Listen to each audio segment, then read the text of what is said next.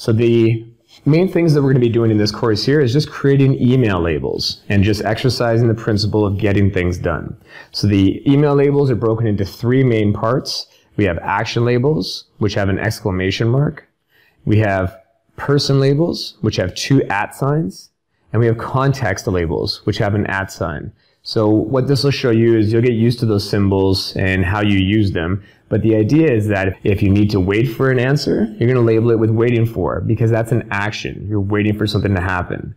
The other one is action, which means that this is an email that's going to take you two minutes or more to answer. So you're going to put this into a second holding bin called action. Once you get through your email list of two minutes or less, you'll hit your action folder and you're going to go through those, which will take two minutes or more.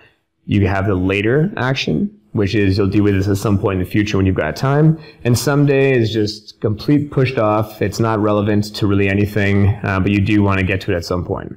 If you want to bring up something with a specific person, what you'll do is you'll label it with a person label. So as an example, I've written down here, a manager. So if you get an email that you want to deal with with your manager, then you'd label it at at manager. And the idea behind this is that when you've got time, rather than bombarding them with individual emails uh, every single day or whenever you get an email, when you have a moment and you sit down in your office with your manager, you have 10 minutes, you can go pull up your at at manager label and all the emails you need to reference are, are in that label nice and organized.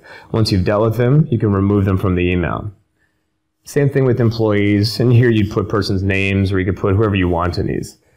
The context labels are emails that need to be dealt with in a certain context. So for example, if you get an email that you want to read later, it doesn't require you to do an action on it. Let's say you want to read this. You're at the airport, you're at the grocery store, you're waiting in line. You'd go to your at read section and you could just read all the things you put in there that you said you want to read. If you uh, want to remind yourself that you have to get milk today when you leave the office, I'd send myself an email. I'd label it at chores. So then when I'm doing chores, I'd go to my chore label on my Gmail inbox on my phone, and I'd see everything that I've got to do for chores, or for errands, or for home, or for office, or for shopping, or for any of those kind of ideas.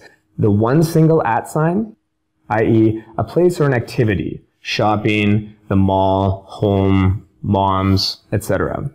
You'll see how these all come into play when we get into the email inbox.